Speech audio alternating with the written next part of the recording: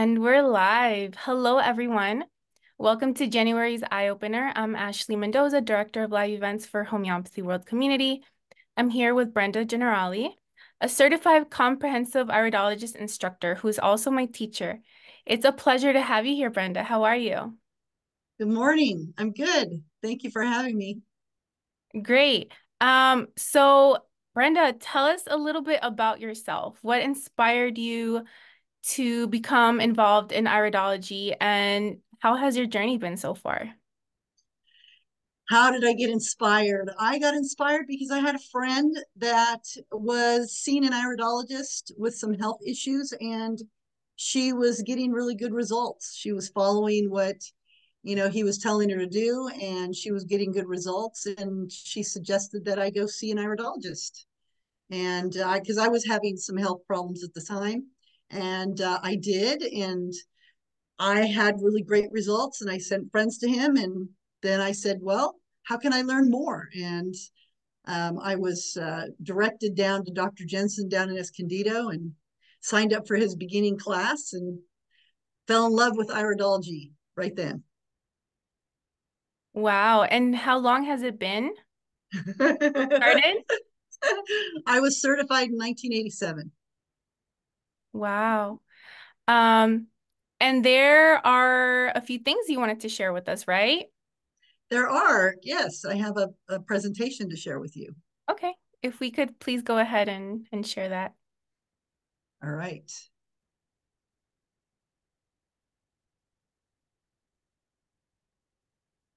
Okay, so um, I was asked by Ashley to give this talk, Discovering Iridology, A Window to Your Health.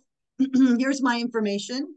Uh, my name is Brenda Generali. I'm a naturopath. I am a certified comprehensive iridology instructor with the International Iridology Practitioners Association. And I teach levels one, two, and three. And I'm also an iridologist, certified iridologist. Uh, and I own Joyful Living Services. I'm the president and CEO. And uh, if you have questions, more questions presentation, there's my Joyful Living. My email is iridology at netzero.net. And you can contact me by phone, either by uh, an office or on the cell. So first thing I want to do is show you this beautiful picture. One of my students sent this to me uh, of this hummingbird. And uh, I mean, it's gorgeous with this iris. And so I want to, first thing I want to do is say thank you to Ashley very much for inviting me to give this presentation. I'm always open to talking about iridology. I can talk about it all day. you know, it's my passion. And so, um, and thank you to the homeopathy world community for inviting me to speak. I, I really appreciate it. It's great to have you here. Uh, so first thing I need to do is always is go over my disclaimer. So Joyful Living Services cannot be held liable for any misuse or malpractice of any techniques taught within this webinar, nor for any injury, suffering, or distress caused by students undertaking the techniques discussed. All students must accept that they are wholly responsible for their actions relating to the practice of iridology and must adhere to the relevant laws in their country and state of residence. Students are responsible for ensuring that they have appropriate liability insurance for practicing in their country and state of residence. Joyful Living Services cannot be held responsible for any advice given by students to members of the public. Students must adhere to their local laws regarding the requirement for registration and or qualification as an iridologist before suggesting supplements or offering nutritional advice. This is all about me. Uh, and so, you know, I, I started in 1983 with my health issues. I had a lot of digestive health issues, a lot of problems with my bowels, problems with pain in my back, uh, uh, breaking out on my skin, lots of lots of health problems. And it actually started when I was age 12, which is when I originally, uh, I remember the first time that I had problems with my bowels, and it just kind of continued, it expanded. And um, in eight in 1989, I, you know, I was led to Bernard Jensen and uh, down in Escondido, stayed down on his Hidden Valley Ranch. And if, for those of you, any of you have heard of Bernard Jensen, he was the father of iridology here in the United States. And I became certified. Actually, I became certified in 87 and then uh, certified again in 89. So I have two certification, early certifications. And after that, I created Joyful Living Services. My mission is to help improve others' health. In uh, 2018, I became a member of IPA. And in 2021, I was awarded the IPA Instructor of the Year. So that was amazing. I'm also certified genomic iridologist and work with MTHFR. And I became a, a naturopath last year.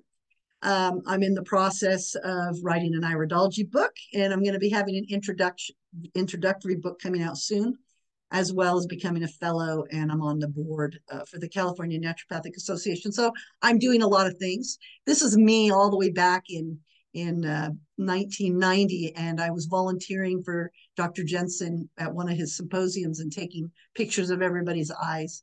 And that's a that's a fun picture and lots of memories there. And I always like to include this in my presentations. That one of my students sent this to me, and this just fits perfect with my personality and how I teach.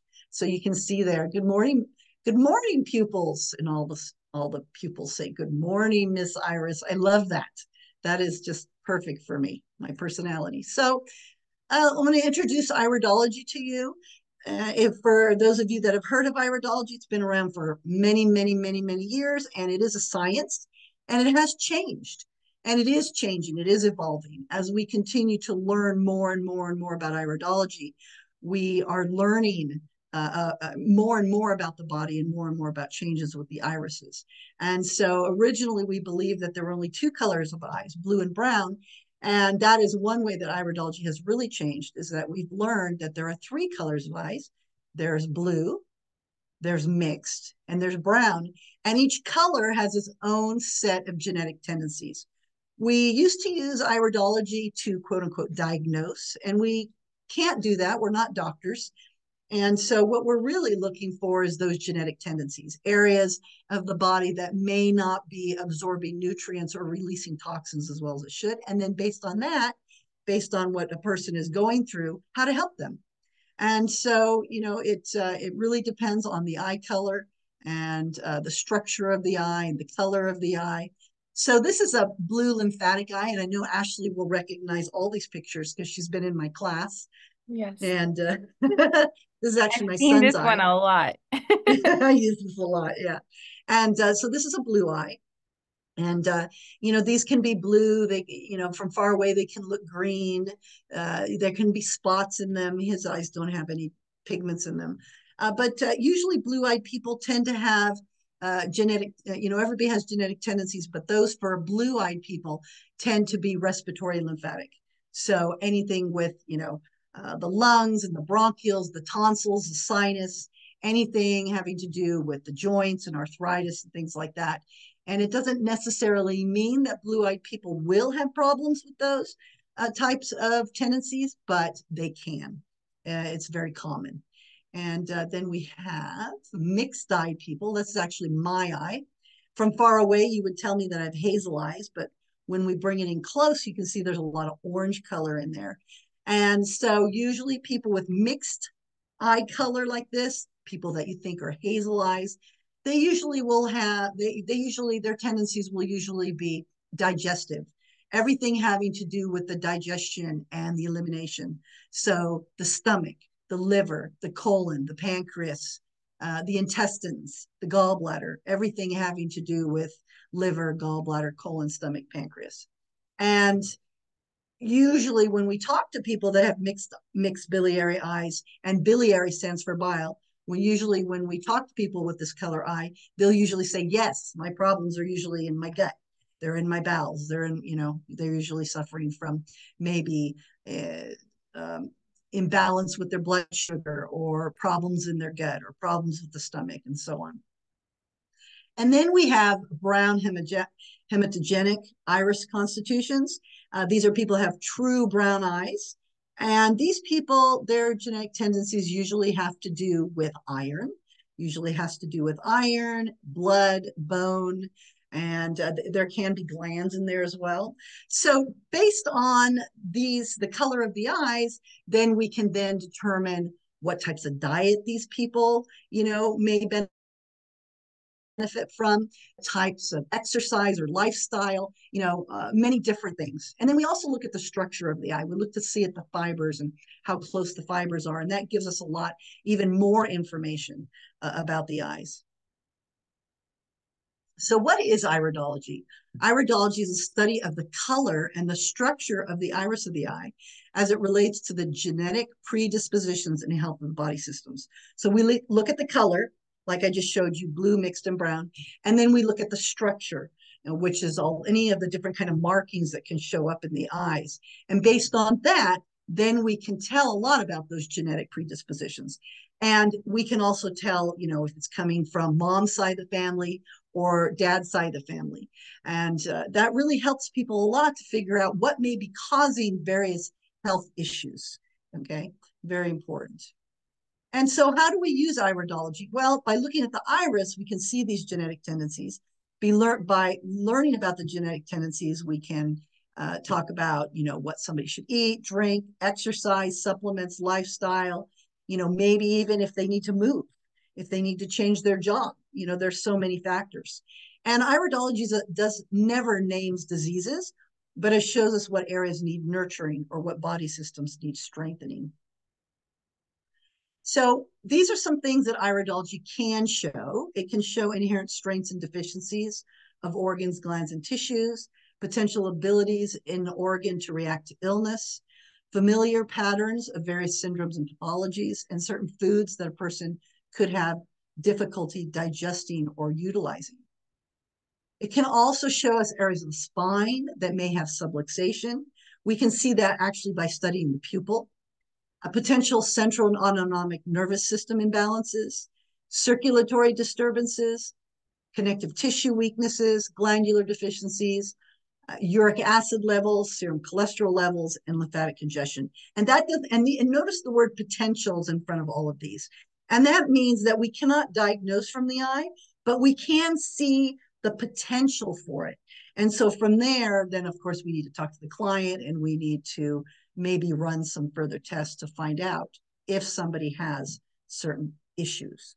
And a lot of times the clients that come to us are already on programs or have seen a doctor and have been told that they have a problem uh, and you know they they just want to confirm or they need to you know, they want to know well what can we do now that you know that we've got this problem it cannot diagnose or give the name of any disease a person may have or have had or identify any type of pathology it can't determine if a person's had surgery we can't see that or precise blood pressure levels uh, or if a person has parasites or indicate, indicate the presence of yeast infections. However, Ashley can uh, tell you that we can see some of these things or the potential for some of these things in the sclera.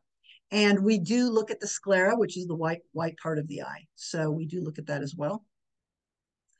It cannot uh, confirm the presence of viruses, germ life, or bacterial invasions, determine if a woman is pregnant, or had an abortion. Although I did have a client the other day tell me that she had iridology years ago, and somebody told her and her friend uh, the sex of the babies that they were carrying. They thought they were carrying the opposite sex, and when the babies were born, the iridologist was right. So that that was really great, and they they were able to tell them that. Now we we usually don't do that now, but um, indicate whether a tumor is present or what size it could be, whether or not a person has kidney stones or gallstones. So these are things that we cannot do with iridology. And uh, we can't tell somebody their exact cholesterol levels or uric acid levels, if they have hemorrhage, if their arteries are blocked or hardened, or tell them what the gender or age of a person is, predict the person's lifespan or impending time of death. There, there are many other tests that can be done to determine all of these things. We just cannot diagnose from the eye. Um, we can't tell somebody if they need surgery. You know, that's for a doctor to do. We cannot tell somebody if they have a specific tooth that can be having a problem, or if somebody has ingested poison or by or been bitten by a poisonous spider or snake. So we are very careful with our wording, and uh, we don't diagnose. We analyze or assess predispositions and genetic inheritances. And we're very careful, you know, when we look at the eyes, you know, it's one thing when you're talking to your friend and you're standing in front of them and you're talking to them, you know, we've been taught to look at each other's eyes when we're talking. But iridology, you know, we're we're looking at the eyes for a different reason. We're actually looking at the eyes to look at the eye color and the structure and to determine genetic tendencies and where areas may not be absorbing nutrients or releasing toxins. And so it's kind of an invasion of, of privacy. So when we talk to somebody, you know, we have to be very careful and we look at the eyes with reverence, honor, and respect. Okay. And when we look at the iris, we're, we're actually looking at the person. We're looking in the person. We can learn a lot about the person's emotions, uh, why they behave the way they do, what makes them tick. Not only the physical, but also the emotional. And so it's it's a very it's a very um, it's very invasive for us to stand in front of somebody and be talking to them and then at the same time analyzing them. We really need to get permission to do that. So those of us with IPA, we're very dedicated uh, and uh, we're very concerned with the interests of all that come into contact with iridology. So let me give you a little bit about the history of iridology here. Most people that have heard of iridology, a lot of people have heard of Bernard Jensen. You know, most people know they associate iridology with Dr. Bernard Jensen, and they think that iridology started with him, but it didn't. It goes all the way back. Goes way, way back. Australia, China, Egypt, Greece, India, Italy. It's practiced in Europe, here in the United States. And it actually started all the way back with King Tut.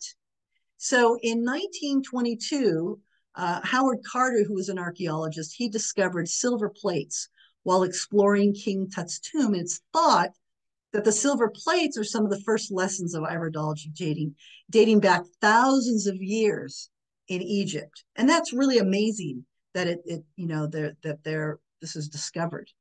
So I've got a few other people that I've listed in here. A lot of times, most people that have uh, learned about iridology have also learned about uh, Ignaz von Peczely. And he was in Buda, Budapest, Hungary. This was 1826 to 1907. He is known as the father of Western iridology. And there was a story that, that is still going around today that this owl, he had an owl, got stuck in his tree, uh, when he freed the owl, the owl broke. The owl while he missed his leg, and at that time, a line formed in the bottom part of the owl's eye. And this area in iridology it, it is, is known as the leg and the, the hips and the thighs and the lower part of the body. So it makes sense. Unfortunately, no one has been able to replicate this in a wild bird. So we don't know if it really happened, but that is the story. Uh, the key here is that he actually published a book called Discoveries in the Field of Natural Science and Medicine and a guide to the study and diagnosis from the eye. And notice the word diagnosis. We don't use that word anymore, but that is, you know, that's a long time ago. And uh, also, von Peczely built up the first known chart of the iris. So I'm going to show you that chart in a minute. Here's Dr. Jensen.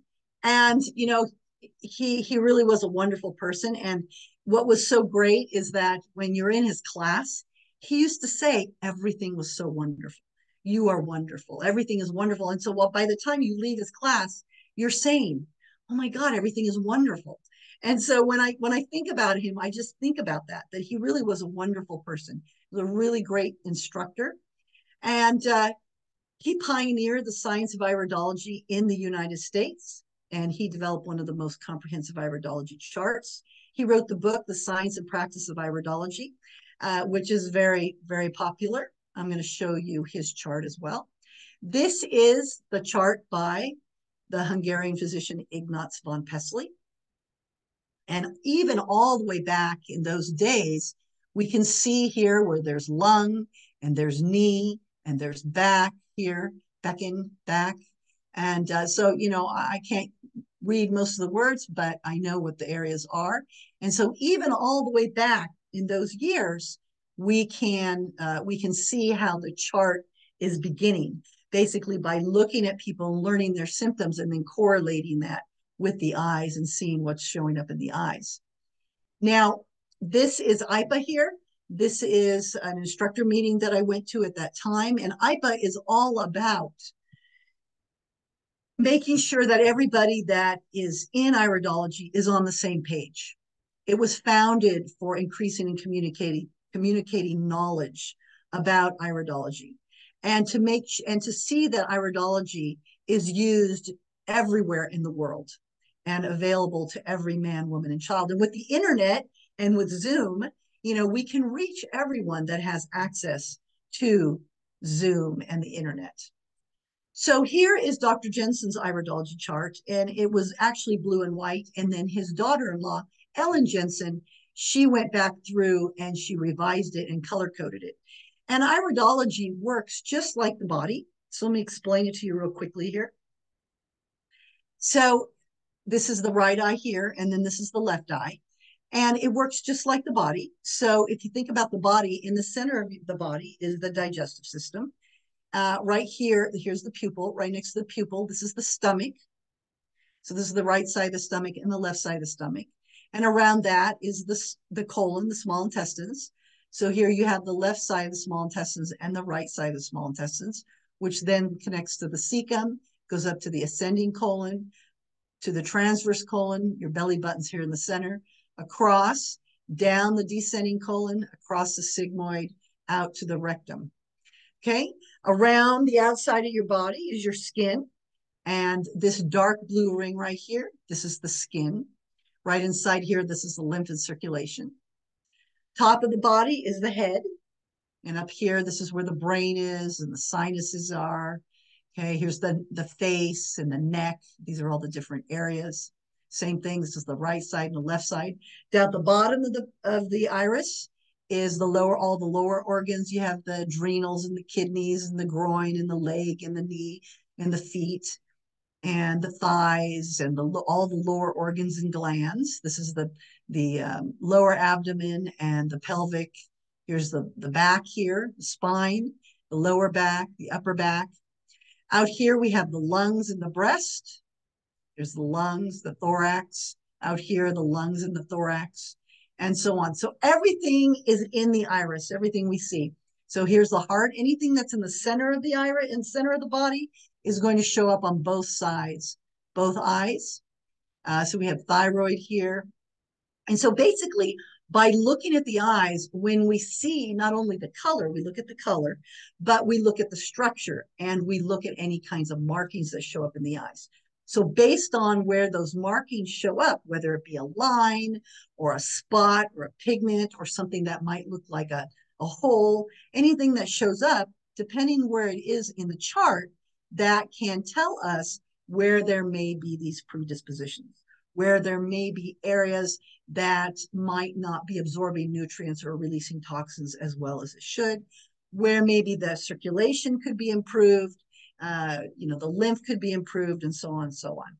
And so this is the chart that we're using now. Now, I included this in the presentation because people love their animals, and more and more people are becoming involved in animal iridology.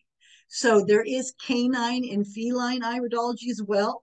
And uh, I'll tell you from experience that dogs are usually very patient.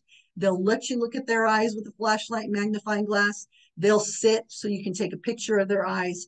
They're really great about that. Cats, not so much. You know, cats, they, they really don't like you touching them and looking at their eyes. And so they're not going to be as patient. But this is a grid that we use for uh, cats and dogs. And it's very similar where you have the intestines here and the stomach here and the parts of the body are very similar here to humans.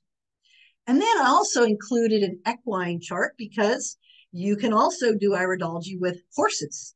And there's a lot of people that work with equine and do equine massage and uh, work with horses holistically can also do iridology for horses as well. And uh, so, of course, they're very different than we are. The chart is very different than we are. Of course, the intestines, the stomach and the intestines are in the center. And uh, even some of the areas for the horse are the same. This is the spine here, and it's the same as it is for humans. So, you know, if you're interested in, if you love horses, you're interested in horses, you love dogs and cats, you know, uh, and uh, you're interested in iridology, there's always animal iridology as well as human iridology. I'm going to show you a few uh, markings here that we can see in the eyes and just kind of explain it to you real quickly. So this is called a circulatory ring. And this is the blue ring that's around the outside of the iris. And sometimes it can look purple. Sometimes it can look uh, light blue. Sometimes it can be a dark blue that you can see that it goes around here. And when we see this ring, this has to, it's called a circulatory ring. Uh, it has to do with circulation. Okay. A lot of times people can have cold hands and cold feet. It also has to do with iron. Uh, people may be anemic. Okay. It also has to do with numbing. So if somebody has uh, problems with feelings in the extremities, in the hands, in the feet, there there can be uh, problems with that when somebody has these circulatory rings. So that's a real easy that's a really easy iris sign to identify. Usually you can just go ahead and look in the mirror and you can see if there's a circulatory ring. It's going to be a little more challenging to see it if somebody has blue eyes than if they have mixed or brown, but you can still see it. It's actually on the sclera itself. So it's usually not actually on the iris. It's usually on the white part of the eye. So it's, it's usually easier to see. Here's a sign. This is my eye. And uh, these are called contraction furrows. And Ashley and I, before the class, we were just talking about that. And I know she has some of these in her eyes as well. a lot. well, I wasn't going to say a lot, but so um, when we see these rings, this has to do with anxiety and it has to do with tension and stress, and it has to do with how we deal with anxiety and tension and stress in our life. But it also has to do with um, it has to do with getting a lot of things done in a very short amount of time. We usually have a lot of irons in the fire. We're usually, you know, we're usually very good at uh, at uh, running a business or you know or uh, directing, you know, and taking charge. And so uh, the key here is being able to find a balance and to be able to say no. You know, can you take on one more project? I want to take on one more project, but is it wise? No, you know, and so really that's the key for people that have these contraction furrows. And notice these contraction furrows are going all the way around in the iris. Um, and uh, so here, this inside here, this is all the digestive area here. This is where the stomach and the colon are. And then out here, these are where all the organs and glands are. And notice that all of these contraction furrows are going around where all the organs and glands are. And so based on where these are and where they start and stop and cross over and so on, that can tell us where stress and anxiety could affect that person, could affect their body. So for instance, if they have these rings up here in the brain reaction field up here, then that could tell us that maybe the person gets migraines when they're stressed or headaches when they're stressed. Uh, if they have these contraction furrows over here uh, in the temporal region, this happens to be the lung and the breast and the bronchial reaction field. So maybe they have trouble breathing or they get a tightness in their chest when they get stressed. You know, uh, maybe if they have them down here in the lower the lower part of the iris, this happens to be the lower part of the body. So maybe they have, when they get stressed, they get muscle cramps in their legs and so on. So this shows us also sensitivity. All right. And so those of us that have a lot of these contraction furrows, we may be very sensitive, very emotionally sensitive. You may not know it because we may cover it up, but we may be very sensitive. So we can get a lot of things done. We have lots of irons in the fire. We need to learn how to say no. Uh, we we we tend to overwork, maybe underplay, uh, and but we can also get a lot done. And uh, so those are called contraction furrows. And I wanted to share this picture with you because it's so, it's, it's such a great picture in iridology. And it's called lipemic diathesis. We also call it a complete corneal arcus or a, cor- a cholesterol ring. And a corneal arcus goes around, it's actually on the cornea itself. A lipemic diathesis has to do with the, uh, the hereditary issue of having high fat in the body. And this also includes a diathesis. A diathesis is a predisposition to lipemia. Uh, and so uh, uh, predisposition to having high cholesterol, high triglycerides, low HDL, high LDL. It, it also can show up if somebody has diabetes, hypoglycemia, blood sugar imbalance. It can also show up if somebody has high blood pressure or low blood pressure. And also, it can mean nothing. So it's a predisposition. So being a predisposition means that, let's say, a person has this marking in their eye and they go have their blood tests and their blood tests come out good. Their, their, their cholesterol is good. Their triglycerides are, are, are in balance. Their HDL and LDL is in balance. Everything is good. They don't have they don't have hypoglycemia. They don't have diabetes. They don't have imbalance in blood sugar. They don't have high uh, high blood pressure or low blood pressure. So this is just showing us the predisposition to that. In other words, if they maybe they're eating a really good diet and they're doing their detoxing, they're doing everything that needs to be done, uh, and therefore they're not having the problem. But if they start going eating fast foods and they start doing all the things that they shouldn't do, then this pre- predisposition can become activated, and then they may have problems with that. But this is called a, a, a corneal arcus, and uh, we've also known it, like I said, as a cholesterol ring and lipemic diathesis. So I wanted to share that with you. This is called a scurf rim. It's really beautiful. Normally, if you're standing in front of somebody and you look at their eye, it almost looks like they outlined their iris. And uh, it's really beautiful. And what it is is a separation of fibers. And you can see here that the, the fibers here are a little a little bit separated. So you can see the darkness coming through from underneath. This happens to be the skin and the lymph here. This is the skin reaction field and the lymph. And when there's a separation of fibers here, we're seeing the fibers underneath. And this usually lets us know that maybe the skin may not be breathing as well as it should, may, may not be able to detox as well as it should.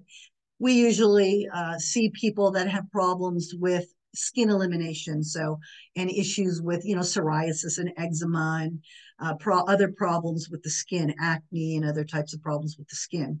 And so we'll work with people with, and we also know that the skin is the third kidney. So we'll be working with the kidneys and the skin and helping the person their elimination the skin. And so that is what that looks like. That's a scurf rim. So at this point, I know Ashley wanted to say something. I just wanted to say thank you. Um, I've been in Brenda's course now for about five, is it five, six months, Brenda? Since August. Since August, and it's been nothing but fun, and she makes it so enjoyable, and she's easygoing, but at the same time, she makes you work hard. um, so I think it's a beautiful balance. And if you all are interested in um, iridology, it's a wonderful place to start. Um, I will be taking my IPA exam soon. Um, I'm almost, well, yeah, almost done with level two. Um, I'm excited about that, but definitely reach out to Brenda. She's an amazing teacher. Um, Brenda, would you like to give a little bit more um, contact info or information in general about um, these courses or anything else? Sure. So there's my phone number and email there. And I usually teach in February and October. That's usually when I start my classes. Uh, the next class is scheduled for February 13th, and usually it'll run through probably June. I record everything, and uh, that way, you know, if people can't match my schedule, they can always watch the recordings. I also offer iridology analysis. I do live analysis and I do remote analysis. So if this is something that you're interested in, please contact me. I'll go back again to the first page that has all my information. Uh, if you know, if you're just curious about something, let's say even if you have some marking in your eye and you're kind of curious about what it is, uh, I'm happy to talk to you about it. You can email it to me or you know, send me a text on my cell phone or send me an email and say, hey, I just watched your Discovering Iridology talk and I have this mark in my eye. I'm kind of curious what it is, or I'm interested in your class. I'm interested in learning. And we're on Facebook too. So um, I'm, I'm, I am very flexible. And yes, we like to have fun in the class because iridology is very scientific and I always try to make the class fun and it is a lot of work. Ashley, pretty soon, you know, you're going to be done with level two. You'll get into the mentoring phase with me where it's kind of a one-on-one phase here and we'll get you ready for the, make sure you're ready for that exam and you take that exam and then you will be a CCI, which is a certified comprehensive iridologist. And that'll be exciting. I'm excited. And even though I'm done with the live classes, I plan on popping in once in a while for the new uh you're starting a new uh semester, right? Yep, February 13th we're starting a new class. And you're you're welcome to come in whenever you want to review and to be a part of the iridology family that we've created. Yep. Well, thank you everyone for watching. Um, it's been a very informative show, and like always, Brenda is a fountain of knowledge. Um, you know, as a person, she has a lot of information, but as an iridologist, she she just, I mean, like I said, her her information is worth gold. Um, but I'd like to invite everyone uh, to get in contact with Brenda. Uh, follow us on Facebook, Homeopathy World Community. Dot, um, I was gonna say dot com, just Homeopathy World Community, or follow my Instagram, Homeopath Ashley. Um, Brenda, you have a uh, group on Facebook, right? You have two groups on Facebook. Can you give the names of that? I can give the name of one, and, and that is just iridology. So if you search on Facebook for iridology, I think I have like 8,000 people in there. it's She's crazy. pretty popular. And you know, it's it they're they're not all active, thank goodness, because I couldn't keep up. But uh, uh, you know, we in that group, uh, people ask questions and they'll post pictures. You're welcome to come in there, post your pictures and say, hey, what do you see in my eyes? And and then I will go in and I I make comments about the eye color and sometimes about the structure or anything that stands out. So you're welcome to come in. It's it doesn't cost anything. It's free if you're curious. Yeah, no, don't be afraid. Don't be shy. Brenda's very down to earth um, and always willing to help out. So, you know, get in touch with her. Um, but thank you so much for coming on our eye opener this month. It's been a pleasure having you here. Thank you for all the information you gave us. And we hope everyone has a great weekend. Thank you. Thank you for having me. Bye, everyone. Bye.